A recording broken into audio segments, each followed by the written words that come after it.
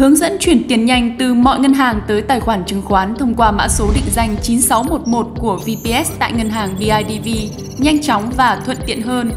Để thực hiện việc chuyển tiền nhanh vào tài khoản chứng khoán VPS thông qua tài khoản định danh 9611, bạn hãy thực hiện theo các bước sau. Bước 1. Đăng nhập vào tài khoản ngân hàng mà bạn muốn chuyển tiền. Bước 2. Chọn tính năng chuyển khoản nhanh 24 trên 7.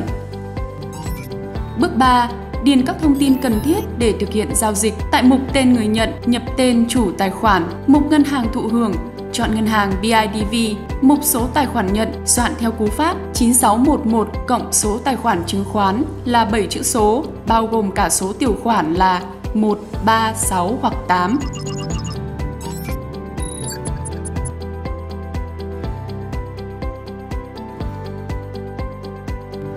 Bước 4 xác nhận thông tin theo yêu cầu bảo mật của ngân hàng và hoàn tất giao dịch.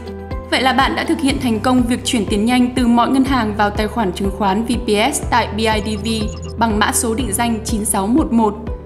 Chúc các bạn có những trải nghiệm đầu tư hiệu quả tại VPS.